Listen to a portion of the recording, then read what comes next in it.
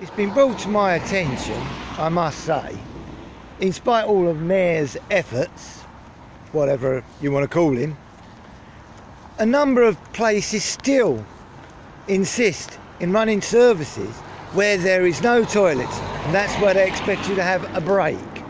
So any time of night, any time of the day, any time of the year. There's no toilets there and yet here we are having to go half a mile away just to go to the toilet when you get to the other end. They're trying to run a service, really. A service of what? Non-runners? Because that seems to be the way it seems to be moving forward these days. Whatever happened to, all right, you go to toilet on a stand, or you have a ferry that will take you to your garage, if it ain't too far, obviously, where you can then alleviate yourself if you need a toilet relief. That's both for male and female. Sadly enough, that isn't the case these days.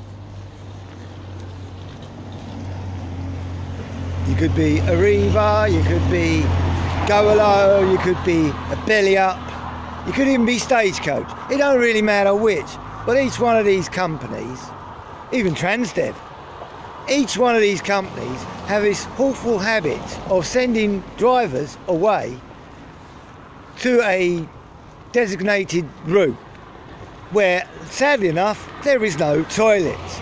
Yes, there has been a few placed, but hang on one sec, Mr. Mayor, and this is directed for him. In spite your efforts, you're still not doing the job. You've got companies taking a mickey left, right and centre.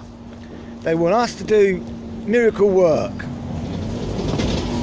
with minimal breaks and, I might add, no toilets. What's your take on it? I would like to know. Speak to me later, or I'll speak to you later. We shall see.